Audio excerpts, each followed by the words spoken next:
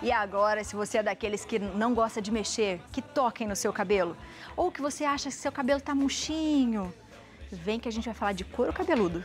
Fica aqui.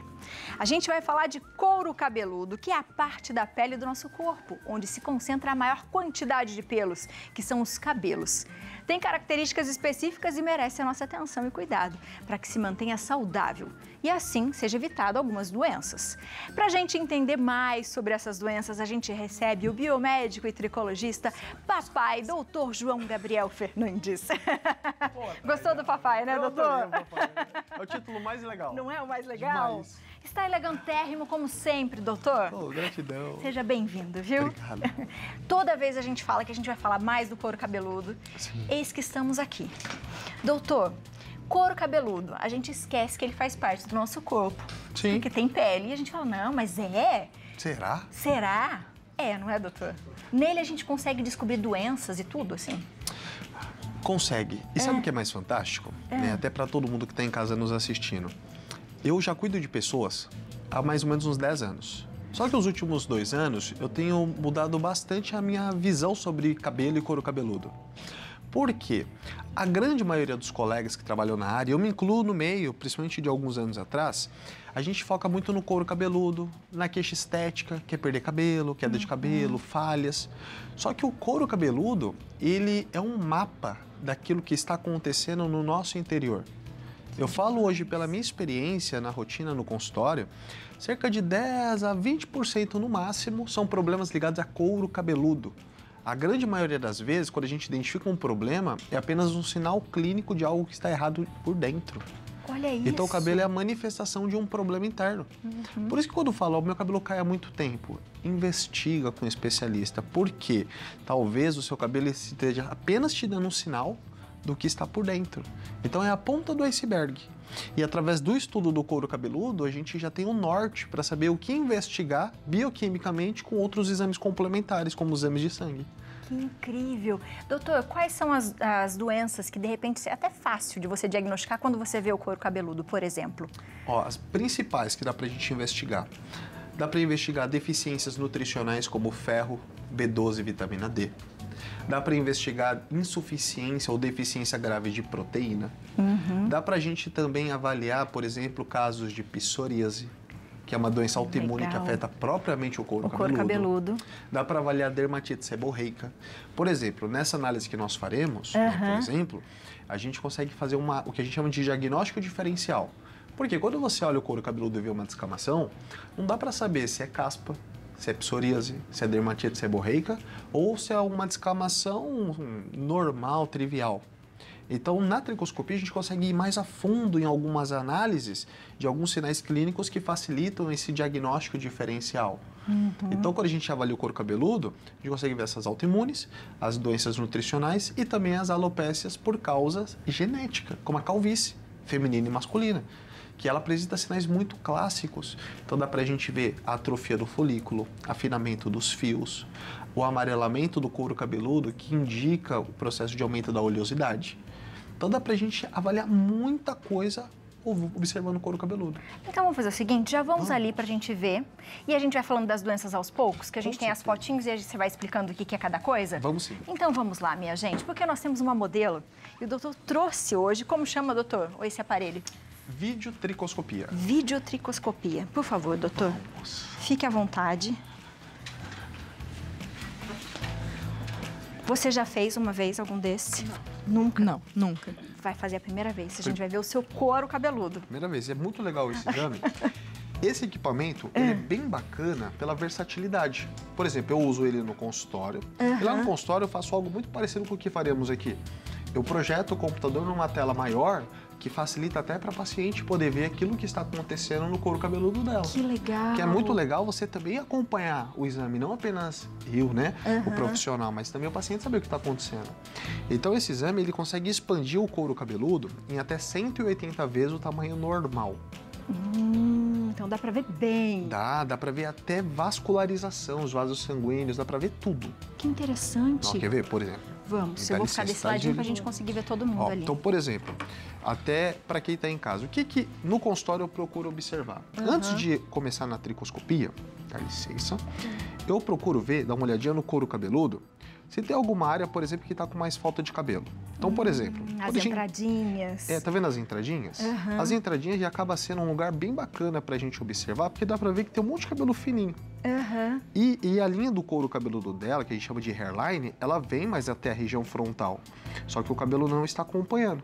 Aham. Essa região aqui na nuca, que é atrás do couro cabeludo, é uma área que quase nenhum problema afeta. Então a gente, eu até brinco que é a Suíça do couro cabeludo. Por quê? É uma área neutra, quase não acontece nada, ninguém se mete nessa região. Que demais! Por Todo mundo vive bem com seu chocolatinho ali. Exato. né? Então aqui na Suíça, vamos observar aqui, ó, para a gente poder ter uma média de como que é o couro cabeludo da Julie. Vamos lá. Ó,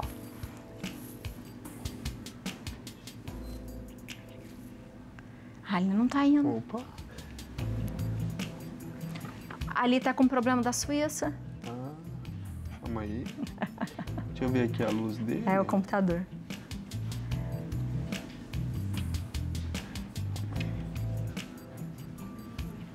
Tá funcionando bem até agora. Ah, é assim mesmo, doutor. assim mesmo, é Na ao hora- vivo, É, é a na hora de mostrar pra todo mundo, ele fala assim, quer saber, vou dar uma enrolada. Falou de Suíça, tava querendo ir lá, dar um passeio. Aí, agora vai. Pronto, agora foi. Então aqui vamos pra Suíça. Ó. Então quando a gente olha aqui o couro cabeludo. Olha que bacana. Olha, Ó. Dá pra ver? dá, dá pra ver que ela até tem um cabelo mais clarinho ali, É. Então, por exemplo, aqui quando a gente olha, também que o couro cabeludo é bem branquinho, bem branquinho. não importa a etnia, o tom do couro cabeludo é sempre mais pálido.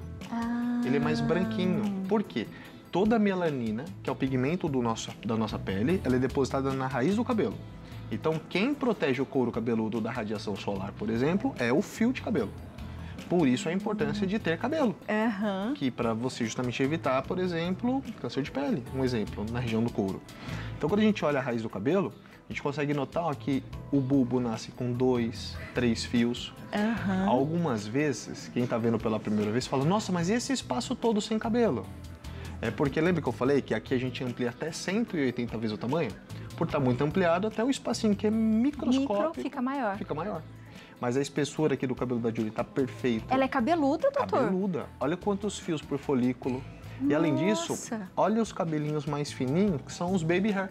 Que legal, Olha é quanto cabelinho mesmo. nascendo. Aí quando a gente olha aqui na frente, por exemplo, Ah, olha como a densidade é diferente. nossa, O cabelo aqui já fica mais fininho. mais fininho. Mais fininho. É, já tem um espacinho Tem um maior. espacinho maior. Então aqui já é uma região que é interessante pontuar. Talvez É. o que possa estar afetando aqui? Falta de alguma vitamina ou mineral. Principalmente Ah. ferro, B12, vitamina D.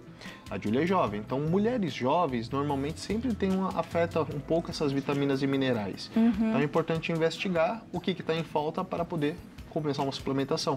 Então às vezes é algo que no dia a dia ninguém olharia. Uhum. Agora, sabendo que essa é uma das possibilidades, aí já cabe, por exemplo, a com- complementar com um exame sanguíneo para poder ver o que está em falta. Quando a gente olha aqui do outro lado, e uma curiosidade que poucas pessoas falam é Ah. que nós também temos mais folículos de um lado do que do outro. Por isso que às vezes fala, nossa, por que que eu gosto mais de pentear de um lado do que do outro? É, fica mais jeitoso. É, porque tem lado que tem mais cabelo mesmo. É natural. E tem a ver com o lado que a gente dorme, às vezes, doutor? Não, isso Não, já né? é um mito. é uma Olha, eu sempre achei isso. mas não tem relação direta. Que interessante. Mas mesmo aqui, faltando um pouquinho de cabelo, o couro É. tá saudável. Não, tá muito bonito esse seu couro Muito. cabeludo, hein? E olha o fio de cabelo dela como é forte. Ele é forte, dá pra gente ver bem cada folículo, né, doutor? Acho Ah, ela falou que tem um delayzinho ali. aqui. Aí. Olha só. Tá vendo as pontinhas brancas? Aham. Aquilo ali é a pontinha dos cabelos que estão crescendo. Que legal. Porque o cabelo ele nasce tão fininho que ele não tem tanta cor. Aí conforme ele engrossa, ele vai ficando mais escuro. Então a pontinha do cabelo é sempre mais fininha e despigmentada. Olha quanto cabelinho Que novo. ó. interessante, quanto cabelinho novo. Aí os mais escuros são os fios mais velhos, os mais maduros que estão crescendo mais tempo. Porque o cabelo ele pode crescer por até 5 a 6 anos. Então o cabelo está crescendo bem. Que interessante, doutor. No caso aqui, a Júlia tá maravilhosa com esse couro cabeludo. Tá. Mas, às vezes, quando o senhor vai colocando né, o aparelho Uhum. na cabeça das pessoas, vai Sim. vendo algumas doenças. A gente tem umas fotos aqui. A gente pode colocar para o doutor ir explicando o que, que pode acontecer. Doutor, o que é aí, neste caso? Ó, esse caso, tá vendo que as plaquinhas são bem branquinhas Aham. e tem um tom bem avermelhado por baixo? Sim, parece ter uma ferida. Faz uma ferida. Aí tá com uma característica muito clássica, ó, as placas são bem brancas. Aham. Então a tendência é que seja psoríase. E dá bolinha, doutor, né? Um monte. Dá, coça, incomoda. Aí as pessoas coçam, aí começa a arder porque machuca. Se fosse, por exemplo, placas mais amarelas, Aham. talvez poderia nos indicar outro problema, que é a dermatite seborreica. Hum, que a gente tem aqui também, não tem? Dê, coloca pra gente ver a diferença de uma para outra. Ó, Ah, Viu como é amareladinha? É amareladinha. porque a psoríase é a placa de queratina da pele que está soltando. Aham. Na dermatite seborreica também, mas um dos fatores da dermatite seborreica é que a glândula sebácea que produz óleo, ela joga mais óleo em cima da placa de queratina. Então a placa que é branquinha fica amarelada por causa do óleo da pele.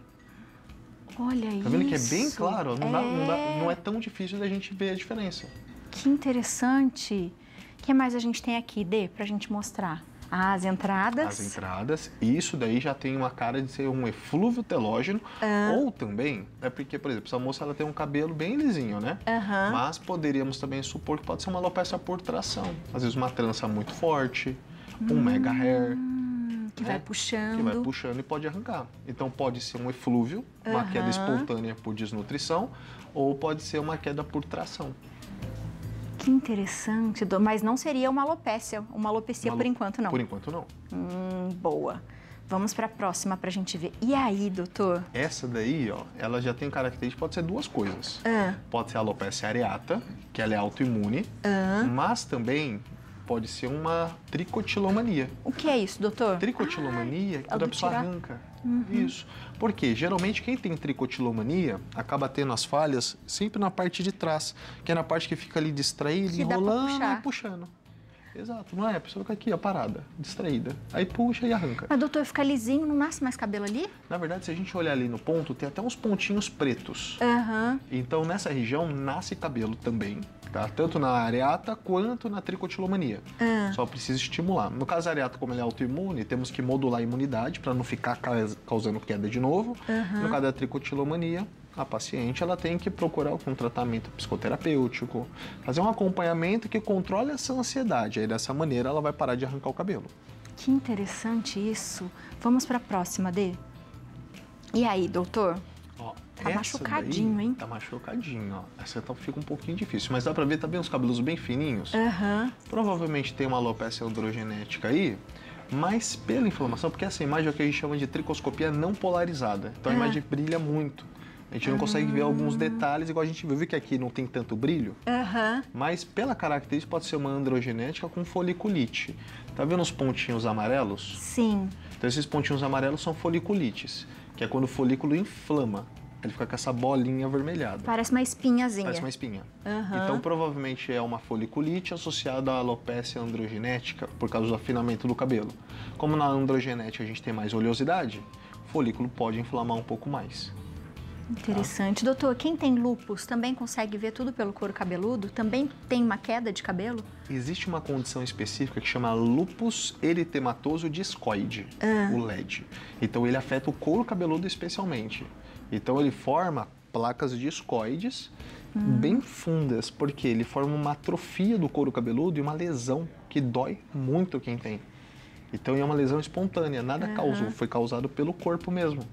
Então, dói e dá pra ver sim pelo couro cabeludo.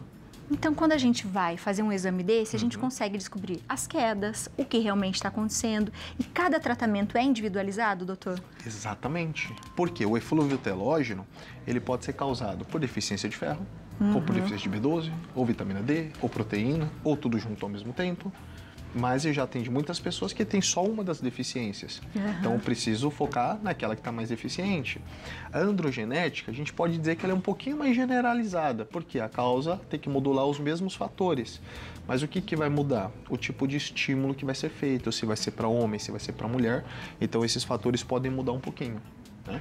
Agora, as autoimunes, aí o padrão é totalmente diferente, precisa ser realmente muito individualizado. Uhum. Então, não tem um tratamento que serve para todas as quedas de cabelo. Por isso que algumas promessas que tem por aí, ó, tal coisa resolve totalmente a queda. Não tem como, porque primeiro a gente tem que ter um diagnóstico. Saber o que é. Exato. Porque sem saber o que é, como que eu vou resolver o problema? Uhum. É, então, por isso que cada tratamento precisa avaliar qual é o caso. Boa, perfeito.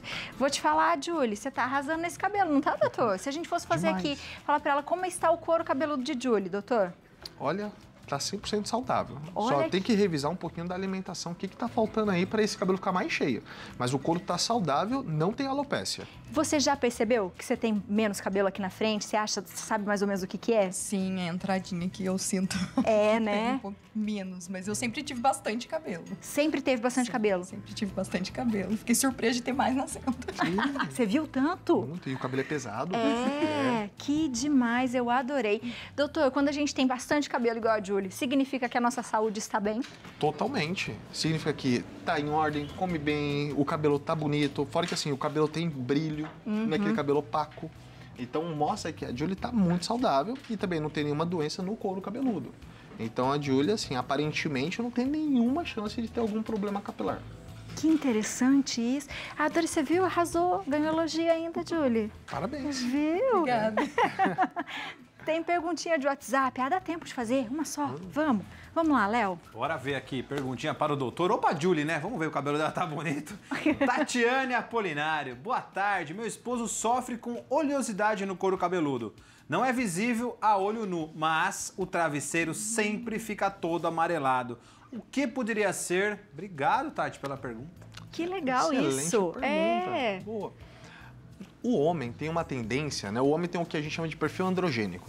Como nós homens temos mais testosterona, nós também temos na pele mais receptores androgênicos, que são os receptores da testosterona. Uhum. Né? Então, dessa maneira, a glândula sebácea ela é muito sensível ao efeito da testosterona. Então, alguns homens podem ter mais receptores na pele do que outros, uhum. o que justifica alguns homens terem muito mais acne, que justifica alguns homens terem um couro cabeludo ou uma pele mais oleosa. Então, nesse caso, o que, que pode ser feito é usar shampoo anti-oleosidade para controlar mais essa oleosidade, uhum. tá? E verificar também, porque às vezes o cabelo é muito fino, não tem para onde esse óleo se espalhar. E ele Verdade. fica mais encharcado. Uhum. Então, dessa maneira, uma dica é use shampoo anti-oleosidade, né? De controle dessa oleosidade e, se for necessário, lave o cabelo mais de uma vez ao dia. Boa. Porque essa coisa de não lavar o cabelo e para deixar que vai ficar mais oleoso se ficar lavando, mas esse não é verdade, não né, é doutor? Verdade, tem Pelo que lavar para tirar o óleo. É. Viu, meu gente? Muito bom. Doutor, seja sempre muito bem-vindo, adorei. Oh, gratidão, Julie, muito obrigada, viu? e você de casa, se tem dúvida, manda pergunta para o doutor que ele responde tudo para você. Arroba doutor João GF e o telefone é o 11 95 226 8060. Obrigada, doutor. Eu que agradeço. Adorei, viu?